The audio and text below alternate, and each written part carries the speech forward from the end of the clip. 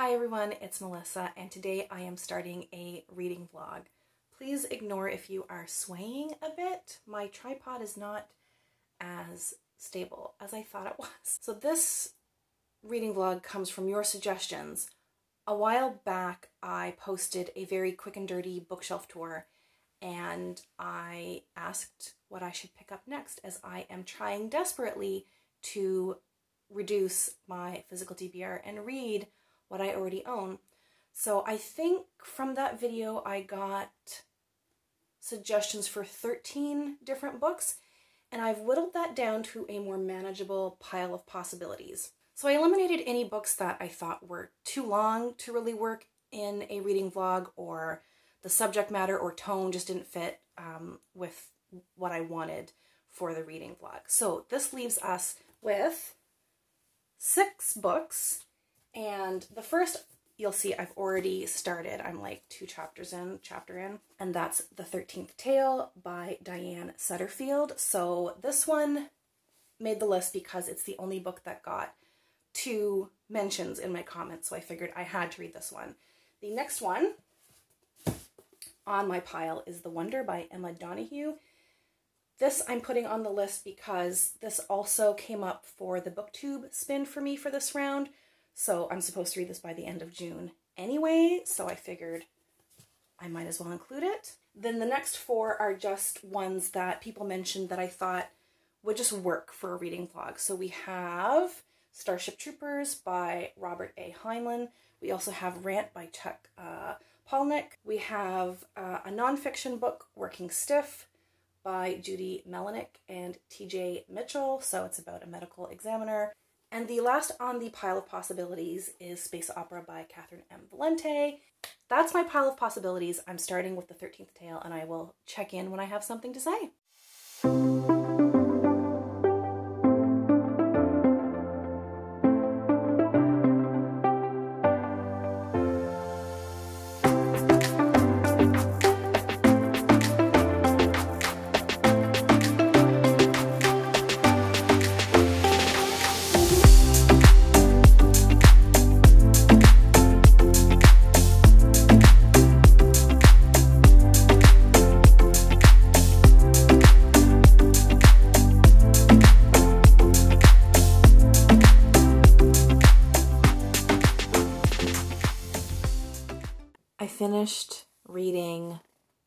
13th Tale last night, and I loved this book. I'm going to put it up here and tell you the things that I loved about it. This is going to be a spoiler-free vlog, I've decided.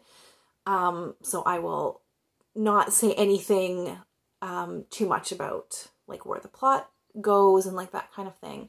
But the general premise is this very reclusive novelist, very famous and very reclusive novelist, has written a letter to this biographer, this kind of no name biographer who's not really a biographer, but kind of dabbles in it uh, at an amateur level, sends her a letter saying she wants to tell her life story to her.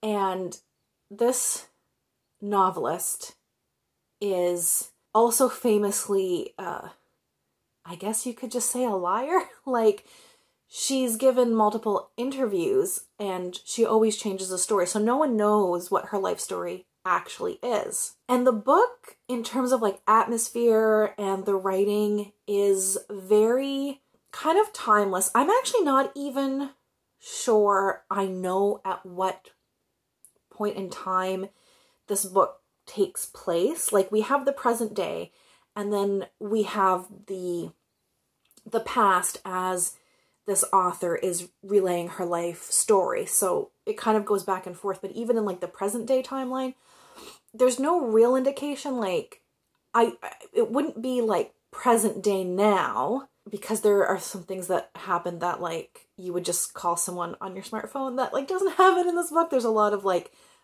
sending letters back and forth and and that kind of thing. So I feel like there's no email, there's no any of that. I kind of feel like it's at least 1980s or earlier. It could be the 1950s. Like, I have no idea what the present day is in that situation. There's probably some context clues that I've missed, but it has this kind of timeless quality that I actually really like. This, I mean, this is a book for classic lovers. Um, I guess you could maybe count it kind of as historical fiction because it's not present day, but you don't really know what time period is. And the writing harkens back to those classics. It's very descriptive, very rich. Even like the way that certain sentences are structured, it's very reminiscent of like some older literature, um, which I loved. The storyline, so there's mystery involved as this young biographer is trying to hunt for what the truth is. You have a sense that maybe um, the author, Miss Winter, is not the most reliable of narrators. Maybe she's holding things back. Um, is anything she's saying the truth or is she obfuscating certain things? Um, and there's there's a mystery involved in her in her in her backstory, and it it almost feels like a suspense novel of the of earlier times, like uh, I've forgotten the name, like a sensation novel it kind of feels like a sensation novel. And so if you're into classics at all, um, pick this up. Like, oh my god, it has a very gothic feel. There's a lot of reference to Jane Eyre, and Jane Eyre plays kind of a, a big role. Not a big role, but it's it's a certain it's a work of literature that gets brought up over and over again, and you can kind of see the similarities. Not exactly directly related to the plot in Jane Eyre, certain elements, certain themes like of isolation. Um, and yeah, so Jane Eyre is is kind of brought up over and over again. There are other books that are brought up because obviously both of the main characters, both the author and the biographer, are um, like huge book lovers, and especially the biographer. Her name is Margaret. She doesn't really read contemporary novels. She only reads uh, classics and um, so yeah, so Jane Eyre is brought up a lot.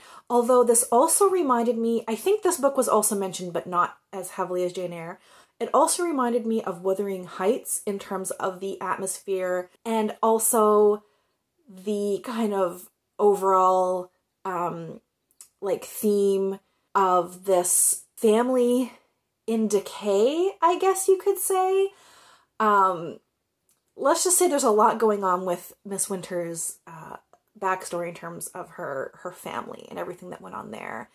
And yeah, I just all those things I loved. The writing, the kind of like timeless nature of it.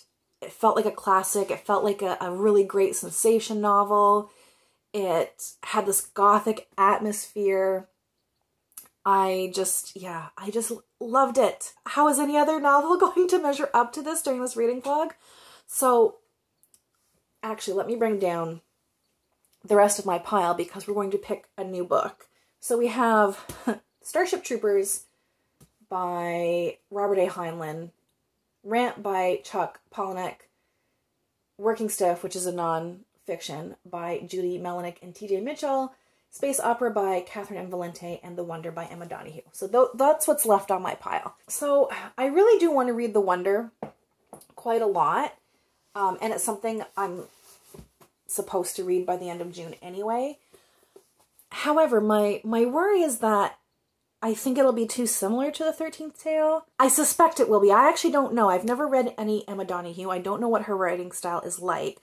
But this is historical fiction and I I just have a suspicion that it will feel similar, I don't in either in tone or in writing style or in some significant way to the 13th tale, even though the stories are very different. I feel like it might be too similar in those other ways. So even though I really want to read The Wonder, I, I, I, I almost want to more so read something that's going to be very different from the 13th tale so I'm not comparing too much. I'm not really in the mood for nonfiction at this point. Let's move that aside. I think I'm going to go with the Palahniuk. My reasoning for this is I know this is going to be very, very different. This is about a serial killer. And the serial killer, he dies in this uh, car crash. Then his friends and acquaintances uh, gather testimony to build an oral history of his short, violent life. So this is told, I guess, as an oral history. And although I'm not very familiar with Chuck Palahniuk's writing, I've only read a few essays of his, just based on like what I know about him and having watched Fight Club, I feel like the writing is going to be sparser in description. I'm guessing this is going to be like more sharp, um, maybe more like sarcastic or pithy, um, punchier. So yeah, I just feel like this is going to feel very different, so it might be the wiser choice. So yeah, we're gonna we're going to try that. Sadly, I think I am going to DNF rant. So I was right about the writing being very different, very sharp, punchy, um, which was what I was looking to do because I wanted to create some distance from the 13th tale. However, I, I, I just can't deny that I prefer richer writing, that I prefer more beautiful writing, and that things that are more sharp um, biting isn't exactly always my type of writing. That being said, I didn't hate the writing in this, but I just, uh, it's not drawing me in. The story's not drawing me in. So it's about this serial killer. I didn't really get very far, in all honesty. I read some during my lunch break, and I've just decided, you know what? I'm not going to power through. I'm going to move on to something else. Um, but so essentially, it's this oral history. But the thing is, I, I can't make heads or tails of who's talking, even though it has like the name and like who they are. I he's moving from one account to another too quickly. It's too fragmented, it's too jumpy around. I want to sit with a character, let them tell a bit of the story, and then move on to someone else's perspective it's not like I need a whole chapter, but give me like a page, give me something to sink my teeth into. I am moving on to probably what I should have picked at the beginning, honestly, if I'm listening to my gut, and that's The Wonder by Emma Donoghue. I wanted to stay away from it because I felt like it might be a little too samey with the 13th tale. But the stories are completely different, and I don't know if this is going to be gothic. I don't I don't know what kind of story this is going to be.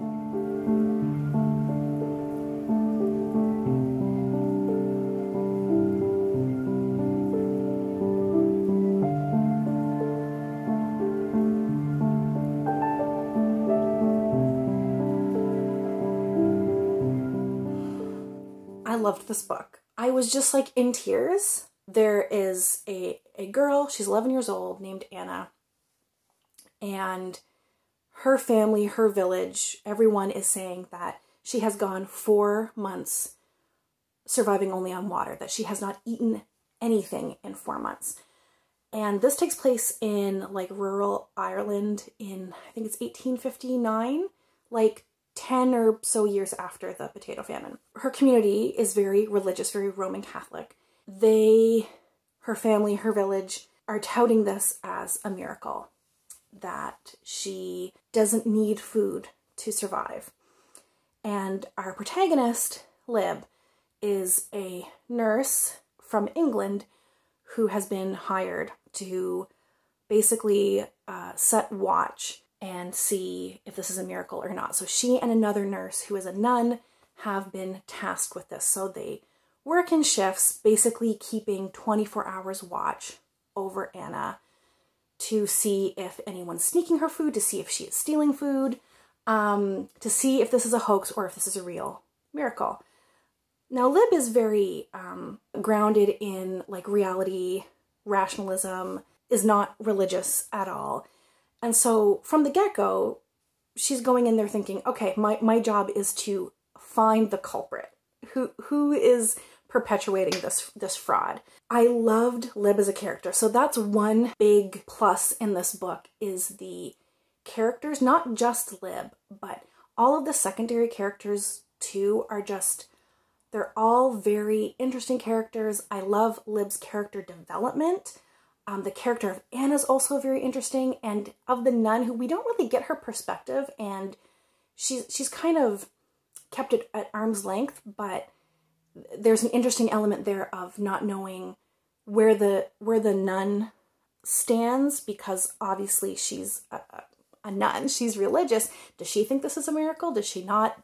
Lib and the other nurse are not really supposed to talk about their opinions. They're just supposed to do their shifts and and get on with it essentially. But all those characters are all really well drawn. Lib's character arc I thought was great. It was so interesting. I'm not going to spoil this, but it was interesting to see like how she changes. You get to learn more and more about Anna and her family and I also loved the setting, like this rural Irish community. I'm a big fan of really strong setting and like a really strong sense of place in books, and this definitely has that. There were a lot of really interesting points of conflict here, so between like religion and non religion, and there's a lot of really great writing in here, great themes about like religious fervor and how, how far that can go. And Lib is incensed um, in parts of this book as Anna's health is deteriorating, furious that people with like really strong religious convictions could let a child like starve herself. There's just so much going on on that. I could do a whole video on like the kind of like religious conflict in here. There's also conflict between like Lib being an outsider and and like the tight knit community that this village is, and that being very strongly connected, of course, to Lib being English, coming to Ireland, and the whole history there. She's totally ignorant to that. So there's a, a, a lot of cool dynamics there around like the English and the Irish, of course, religion, about like morality and responsibility in terms of as a as a parent. Um, and like Lib's thoughts on Anna's parents and what they are or are not doing to help their daughter and her fast. Sorry, there was a a ring at the door, a parcel came, so I don't know where I was.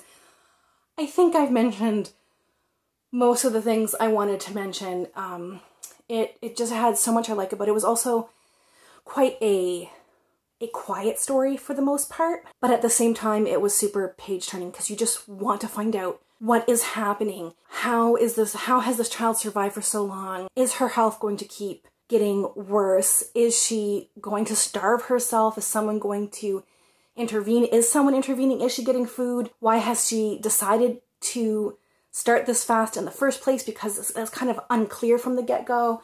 I loved it so much. Now, I am going to pick another book, but I am going to take today off reading and maybe even tomorrow because The Wonder is the kind of book that I need to like process. so I'm going to take a little break, but I am going to pick my book now. And I already know that um, I don't want to read Starship Troopers right now. I don't want to read a nonfiction right now. After The Wonder, that which got a little bit intense for me, um, I need something a bit lighthearted, so we are going to go with Space Opera by Catherynne M. Valente. Do you ever get in just a busy season of life, and because you're so busy, your house just seemingly falls apart overnight? Normally, what happens if I get really busy is like the kitchen will kind of like turn into a disaster zone, or like, you know, a room but it's it's my entire house. My bedroom, my child's bedroom, the kitchen, the entryway, the dining room, the living room, the laundry room. Enjoy this b-roll of me cleaning at least some of my house. I enjoy watching uh, like sped up cleaning vlogs, so hopefully some of you will find this uh, satisfying to watch.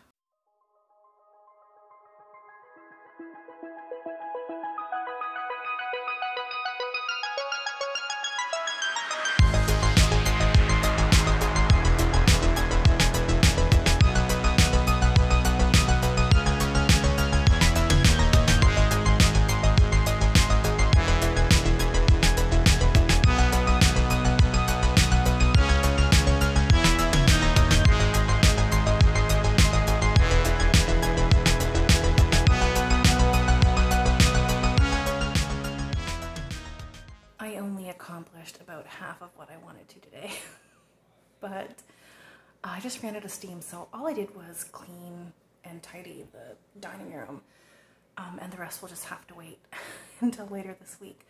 But I did want to talk about uh, space opera before I close out the vlog. I'm only about halfway through, but I want to get this vlog up um, tomorrow if I can. So I will share my thoughts on space opera so far. So I've heard this described as like Hitchhiker's Guide, and it very much is in that realm. It's a comedy science fiction. It has some like social commentary in there, so I can see the comparison. It's a lot of fun. Like I'm enjoying it. Um, the only things I really have any criticism about are like the writing is very dense. Like every sentence is just like chock full of like a lot of words. I could probably flip to any random page and find an example of what I'm talking about. So this is like the second sentence I came across and it's exactly what I'm talking about. Um, at the very least, you'd have thought to get a nice shark's heart sausage in at one of Blue Rutu's finer bistros before the low gravity, high pressure atmosphere and the global, rather well founded cynicism on the subject of strangers started rather dramatically forcing blood out of the ends of your hair. Like, it's just bam, bam, bam, bam, bam. And like almost every sentence is like that. So, um, like I said, I'm enjoying the book, but I picked this up thinking it would be really fast read, like fast, fun, floofy kind of read. And it's definitely a fun read, but it's not fast. Like I have to keep rereading sentences to get everything out of them. You know what it reminds me of?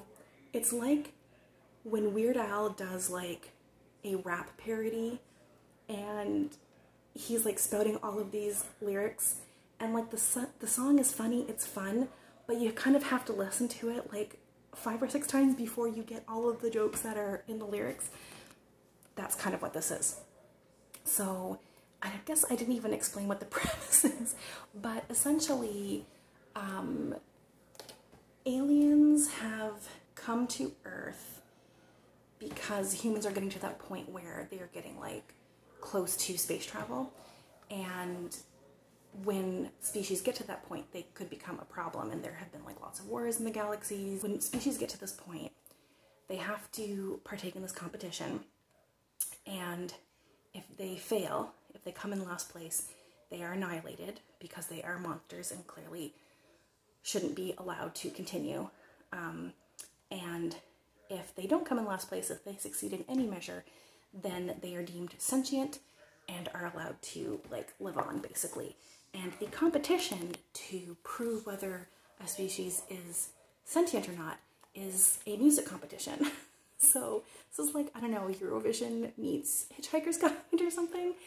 And um, the funny part is like the aliens come, like one of the alien races comes, and they um, have this like list of possibilities, like musicians they think would really do well, and it's like Skrillex and Yoko Ono and like Donna Summer, just like the most random list you've ever heard of. Um, but in this, it, it, doesn't really give a year, but it's like in the near-ish future, um, and basically all of those people are dead, and the only people left because the the aliens are like kind of out of date with what's popular music on Earth at the moment, and the only um, band that is on the list that is still alive is uh, this group that they they're has-beens, right? So it's basically these this group has to like get the band back together after like 15 years of doing nothing and try to like save humanity. So that's the premise. So obviously it's very like fun. There's like a lot of commentary here about like how awful humans are because the whole point is that we have to prove that we're not monsters and like that's going to be kind of hard to do because we've been monsters. That's the end of the vlog. If you've read any of the books I talked about, please leave a comment below. I would love to have a chat about any of these books as always. And thank you so much for watching and we'll chat soon. Take care.